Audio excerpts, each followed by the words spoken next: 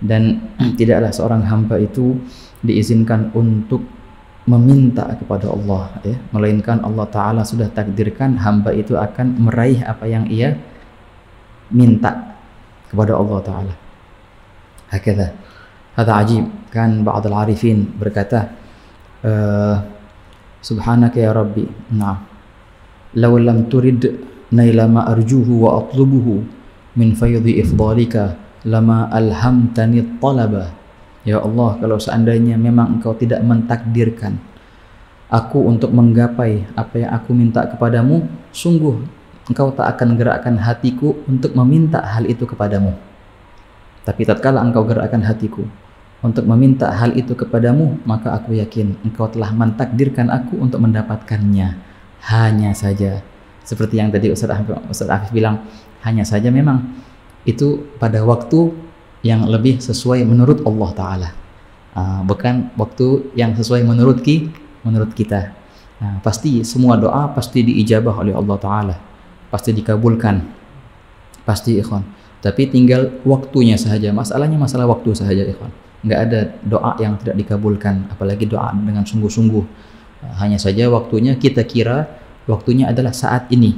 Namun Allah Taala mengetahui lebih afdol, lebih maslahat engkau akan mendapatkan hajat itu bukan saat ini. Nanti. Ada waktunya yang lebih munasib lagi wahai kata ikhwan.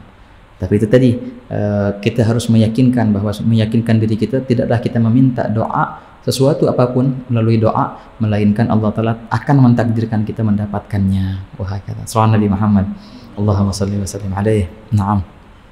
Tapi begitulah keyakinan seorang hamba terhadap janji-janji Allah hal ajib ikhwan. Terutama ya, dalam ya, masa-masa ya, sekarang ini kan ya yang mana kaum muslimin ditodimin di dianiaya di beberapa wilayah terutama di Palestina. Semoga Allah taala berikan pertolongan kepada ikhwanana yang di sana.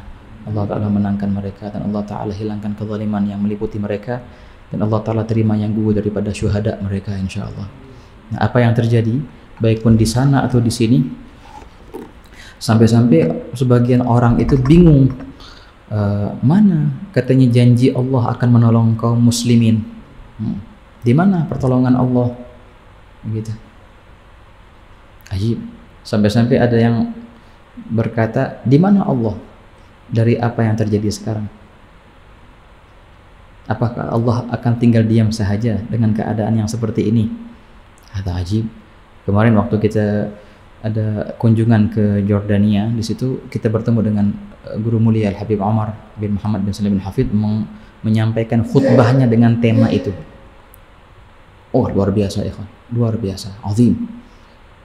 Nah, kita ingat sabda Nabi Muhammad SAW ketika baginda waktu itu masih di Mekah di awal-awal apa namanya merintis dakwah Islam yang ikut dengan baginda hanya beberapa orang. Itu pun mereka dianiaya. Sampai-sampai akhirnya ada beberapa sahabat yang mendesak Rasulullah ya Rasulullah ama tastansira lana? Ya Rasulullah apakah engkau akan tinggal diam sahaja dengan keadaan kami yang dianiaya? Sayyidina Bilal diapain tuh coba lihat. Sayyidina Ammar bin Yasir gimana ayahnya dan ibundanya. Dan banyak sahabat yang dianiaya pada masa-masa itu maka sebagian mereka berkata, Ya Rasulullah, kenapa engkau tidak berdoa kepada Allah untuk kami? Semoga Allah Ta'ala hancurkan tuh yang mendolimi kami. Allah Ta'ala jayakan Islam ini kembali. Maka Nabi SAW berkata kepada mereka, Lagad kana man qablakum. Sungguh dari yang sebelum kalian, dari para nabi-nabi dan para muslimin yang sebelum kalian, yudha'al min syar fi ra'si ahadihim gitu diletakkan gergaji di atas kepala mereka. Ini ceritanya siapa ya? ceritanya Nabi Nabi Yahya.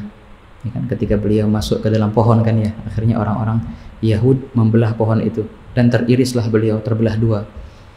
Nah, kana man gablakum sungguh yang ada dari sebelum kalian mereka yang dibelah dua dengan gergaji. Namun itu sama sekali tidak membuatnya ragu namun itu sama sekali tidak membuatnya patah semangat. Namun itu sama sekali tidak membuatnya lemes. Justru tetap dia yakin, dan percaya atas janji Allah Subhanahu wa taala. Kemudian baginda menyampaikan, sungguh agamaku ini akan sampai ke penjuru dunia, akan masuk ke tiap rumah, baik pun itu rumah yang terbuat dari batu atau rumah yang terbuat dari kayu atau yang terbuat dari tanah. Semua itu akan masuk agama ini. Hanya saja kalian terburu-buru. Itu pesan terakhirnya luar biasa. Walakinnakum tasta'jilun kata Rasulullah. Akan hanya saja kalian terburu-buru, kalian tergesa-gesa.